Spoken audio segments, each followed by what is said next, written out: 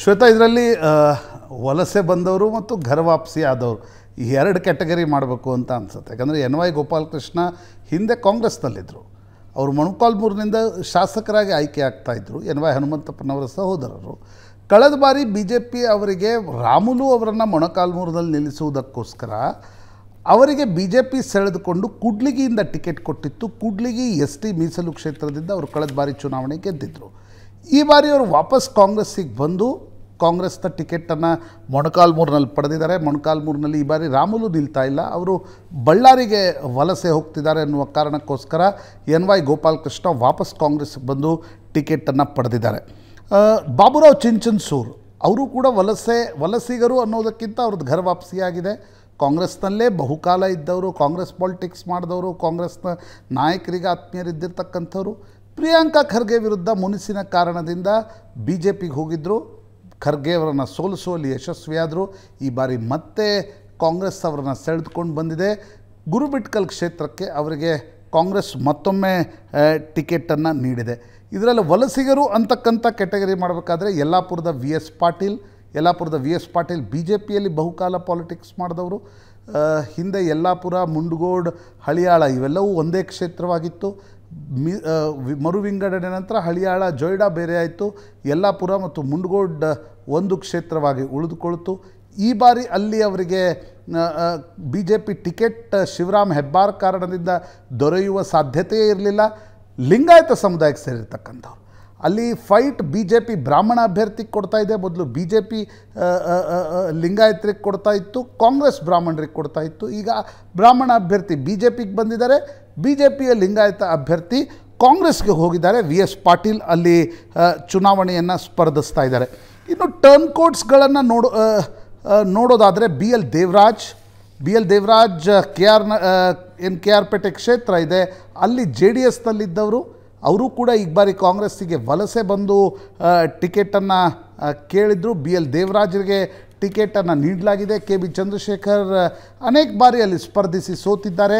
ಅವರಿಗೆ ಟಿಕೆಟನ್ನು ನಿರಾಕರಿಸಿ. ನನಗೊಂದು ನಿಶ್ಚಿತವಾಗಿ ಬಿ ಎಲ್ ದೇವರಾಜರ ಹೆಸರು ಕೇಳಿದ ತಕ್ಷಣ ಯಾವಾಗ ನಾರಾಯಣಗೌಡರು ಜೆ ಡಿ ಎಸ್ನ ವಿರುದ್ಧ ಬಂಡೆದ್ದು ಬಿ ಜೆ ಪಿಯತ್ತ ಹೋದರು, ದೇವೇಗೌಡರು ಹೇಳಿದ ನೆನಪಾಗತ್ತೆ. ದೇವೇಗೌಡರು ಹೇಳ್ತಾ ಇದ್ದರು ನಾನು ಬಡ್ಕೊಂಡೆ ಕುಮಾರಸ್ವಾಮಿಗೆ, ಟಿಕೆಟ್ ಕೊಡಿ, ದೇವರಾಜ್ಗೆ ಭಾಳ ವರ್ಷ ಕೆಲಸ ಮಾಡಿದ್ದಾರೆ ಅಂತಕ್ಕಂಥದ್ದನ್ನು.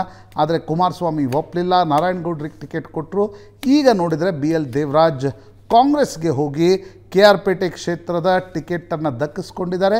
ನಿಶ್ಚಿತವಾಗಿ ಅಲ್ಲಿ ನಾರಾಯಣಗೌಡರು ಬಿ ಜೆ ಪಿಯಿಂದಲೇ ಸ್ಪರ್ಧಿಸ್ತಾರೆ ಅಂತಕ್ಕಂಥದ್ದು ಸ್ಪಷ್ಟವಾಗ್ತಾ ಇದೆ. ಯಾಕಂದರೆ ಅವರು ಕಾಂಗ್ರೆಸ್ಸಿಗೆ ಬಂದು ಸ್ಪರ್ಧಿಸ್ತಾರೆ ಅಂತಕ್ಕಂಥದ್ರ ಬಗ್ಗೆ ಮಾತುಗಳಿದ್ವು.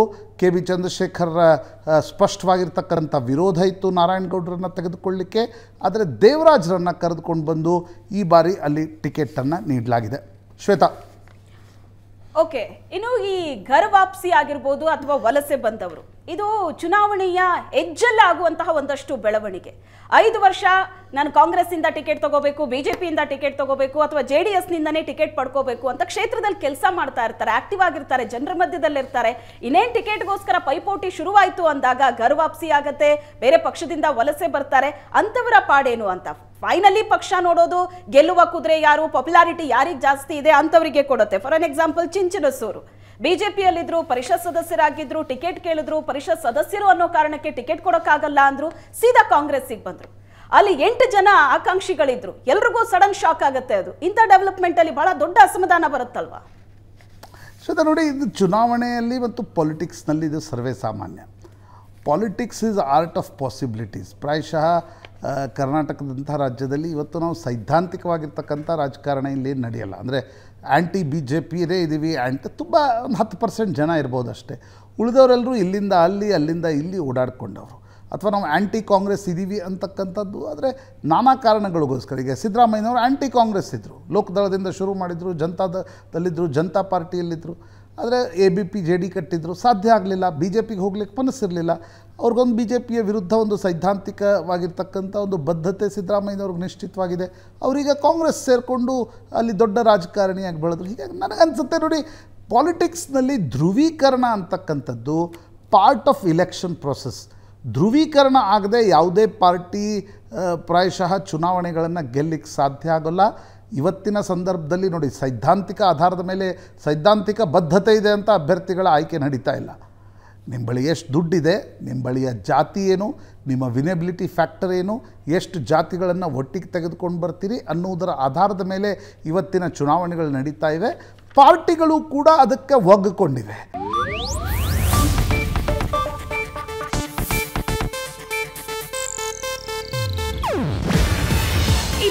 ಏಷ್ಯಾನೆಟ್ ನ್ಯೂಸ್ ನೆಟ್ವರ್ಕ್ ಪ್ರಸ್ತುತಿ. ನೀವು ನೋಡ್ತಿದ್ದೀರಾ ಏಷ್ಯಾನೆಟ್ ಸುವರ್ಣ ನ್ಯೂಸ್.